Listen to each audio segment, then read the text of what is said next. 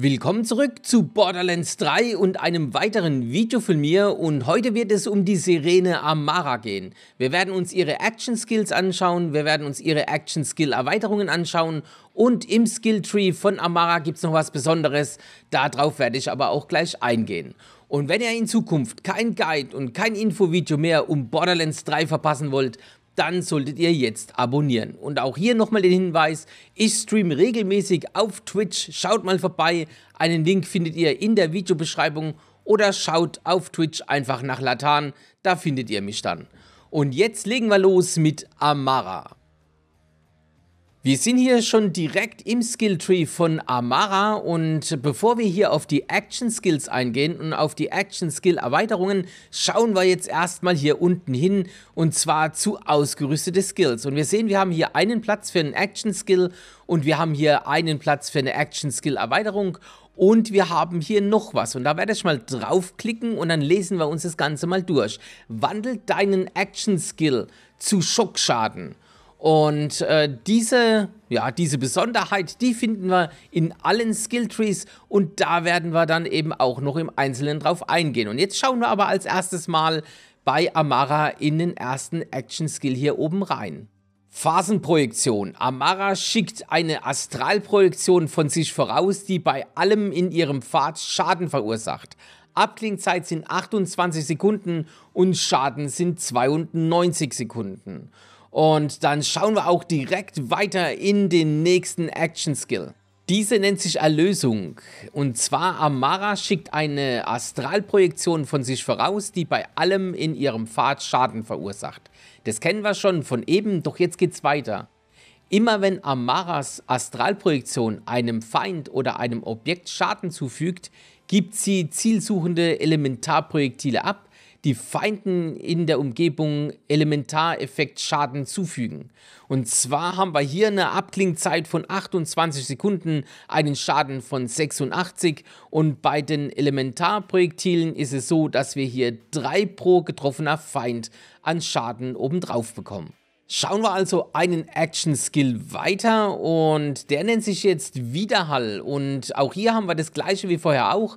Amara schickt eine Astralprojektion von sich voraus, die bei allem in ihrem Pfad Schaden verursacht. Das ist also die grundsätzliche Anmutung des Spells, dass immer diese Astralprojektion vorausgeschickt wird. Die Astralprojektion verursacht erhöhten Schaden für jeden Feind, der von ihr getroffen wird. Und da haben wir eine Abklingzeit von 30 Sekunden, Schadensbonus plus 50% pro getroffenem Feind und da machen wir 88 Schaden. Und jetzt gehen wir direkt rüber auf die rechte Seite zum letzten Action Skill für diesen Skill Tree.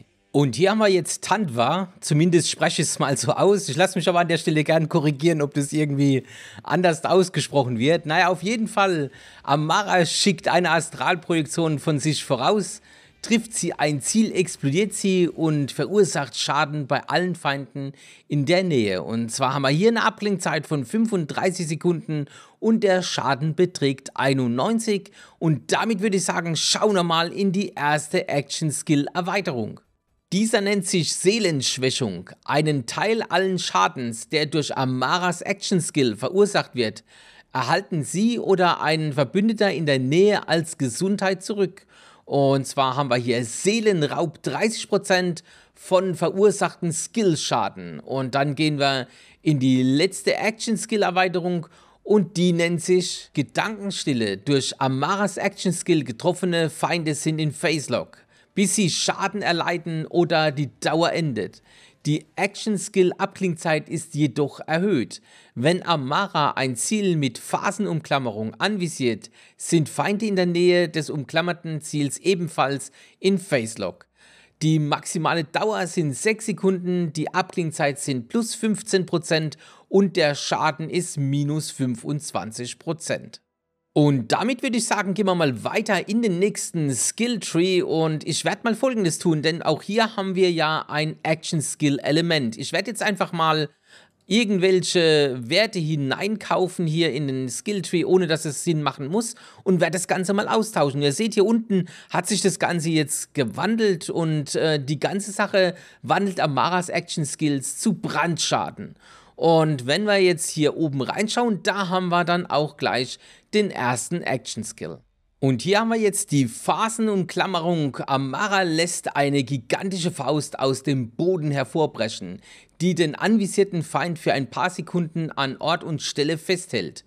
Manche Feinde sind immun gegen das Umklammern und erleiden stattdessen sofort Schaden. Skilldauer sind 7 Sekunden, Abklingzeit sind 16 Sekunden, Schaden bei Umklammerung Immunität sind 28. Dann würde ich sagen, schauen wir gleich einen Action-Skill weiter. Hier drüben auf der linken Seite. Amara lässt eine gigantische Faust aus dem Boden hervorbrechen, die den anvisierten Feind für ein paar Sekunden an Ort und Stelle festhält. Also das kennen wir schon. Im Grunde war es das gleiche wie vorher auch. Wir haben hier als Grundform dieses Spells diese Faust, die aus dem Boden hervorbricht. Bei dem anderen Skilltree war es ja diese Astralprojektion, die sie nach vorne schickt. Jetzt geht es hier aber weiter und zwar immer, wenn der umklammerte Feind getötet getötet wird, sucht sich eine neue Faust ihr nächstes Ziel und umklammert es. Und hier haben wir Bonusziele bis zu plus 4 und Abklingzeit haben wir 20 Sekunden. Bei Immunität bekommen wir einen Schaden von 28. Und damit gehen wir hier runter zum nächsten Action Skill. Eine Frage der Faust. Auch hier wieder das gleiche wie vorher. Amara lässt eine gigantische Faust aus dem Boden hervorbrechen, die den anvisierten Feind für ein paar Sekunden an Ort und Stelle festhält. Jetzt geht's weiter. Nach dem Umklammern des anvisierten Feindes erscheinen große Fäuste und schmettern unablässig auf die Umgebung, sodass Feinde in der Nähe Schaden erleiden. Abklingzeit sind 28 Sekunden. Der Schaden beträgt 35 und wenn das Ziel immun ist, bekommt es Schaden für 39. Und damit wechseln wir rüber auf die rechte Seite zum letzten Action Skill für diesen Skill Tree. Ein Bund gegens Leben und auch hier haben wir natürlich, Amara lässt eine gigantische Faust aus dem Boden hervorbrechen, die den anvisierten Feind für ein paar Sekunden an Ort und Stelle festhält. Feinde bei einem umklammernden Ziel sind verbunden und jeglicher Schaden, der einem verbundenen Ziel zugefügt wird, wird unter allen verbundenen Zielen geteilt. Verbundenen Schaden 35% von verursachten Schaden, Abklingzeit sind 18 Sekunden und wenn das Ziel immun ist, gibt es Schaden von 34. Und damit gehen wir hier in die erste Action-Skill-Erweiterung und eigentlich auch in die letzte, denn mit diesem Skilltree gibt es nur eine Action-Skill-Erweiterung. Amaras Action Skill erzeugt eine Singularität, die Feinde heranzieht. Action Skill Schaden minus 20%, die Dauer sind 2,5 Sekunden. Wer nicht weiß, was eine Singularität ist, und zwar ist es nichts anderes wie ein schwarzes Loch, was da erzeugt wird und da werden eben die Ziele dann hingezogen. Und jetzt würde ich sagen, wechseln wir in den nächsten Skilltree und schauen uns natürlich auch hier die Actions, das Action Skill Element an. Das Ganze nennt sich Saurer Tiger, wandelt Amaras Action Skill zu Korrosionsschaden. Und dann würde ich sagen, gehen wir gleich nach hier oben, denn hier haben wir den ersten Action Skill und der nennt sich Phasenschlag. Amara springt in die Luft und schmettert auf den Boden, wobei sie Schaden bei allen Feinden in der Nähe verursacht und sie nach oben wirft. Und hier haben wir eine Abklingzeit von 35 Sekunden und Schaden machen wir 98. Und damit gehen wir hier rüber auf die linke Seite und schauen uns den nächsten Action Skill an. Auch diesmal haben wir wieder einen wunderbaren Namen und zwar nennt sich das Ganze Fraktur. Amara lässt eine Reihe Fäuste aus dem Boden hervorbrechen, die Schaden bei Feinden vor Amara verursachen. Abklingzeit sind diesmal 28 Sekunden und der Schaden beträgt 88 und damit gehen wir eins tiefer zum nächsten Action Skill. Und jetzt haben wir Untergang. Amara springt in die Luft und schießt kurz einen Elementarstrahl unter sich ab, gefolgt von einem Schmettern. Abklingzeit sind hier 47 Sekunden, der Schaden beträgt 95 und Strahlschaden haben wir 14 je Sekunde.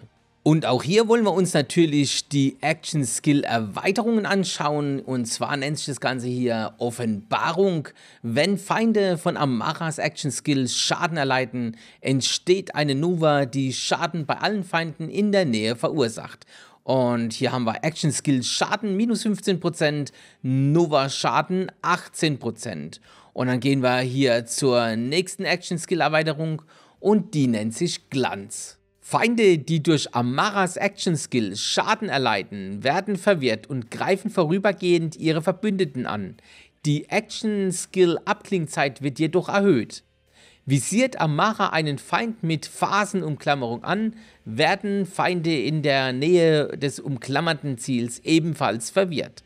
Verwirrung sind 8 Sekunden, Abklingzeit sind plus 20% und der Schaden beträgt minus 30%. Und jetzt möchte ich ganz kurz an der Stelle nochmal hier auf die ausgerüsteten Skills eingehen, denn ich habe ja aus dem vorigen Skilltree hier diesen Feuerschaden. Wir machen jetzt mal was, wir investieren einfach mal irgendwo hier Punkte rein, völlig wurscht wo.